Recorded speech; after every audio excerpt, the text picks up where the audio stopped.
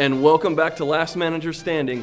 Our next real world scenario I present to Team A and Team B is going to be hiring. Now, your company needs to hire for the new season.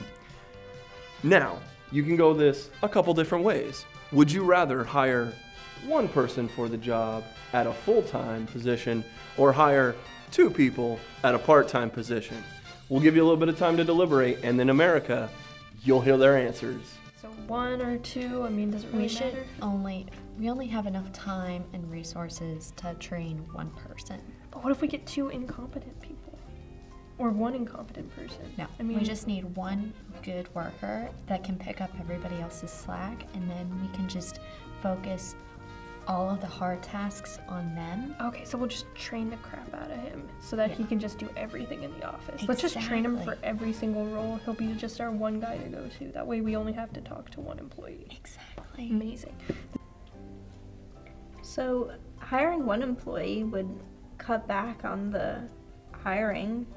Yeah, but I I, mean, think hiring training. too, it might cost a little bit more, but you're not paying benefits, and there's always two people to cover a shift if you need to, and there's just, I mean, having better employees or more employees can be better for a company. Yeah, that makes sense. That seems like the best way to go. Yeah. Okay. All right, all right, I think that's enough time for everyone. Team A, let's hear your answer to this real world scenario.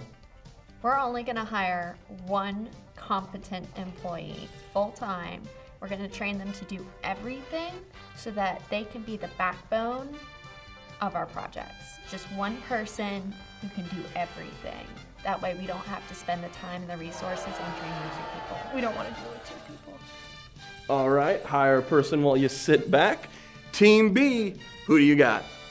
So we're gonna hire two employees versus one. That way they're both part time and we don't have to pay anyone benefits.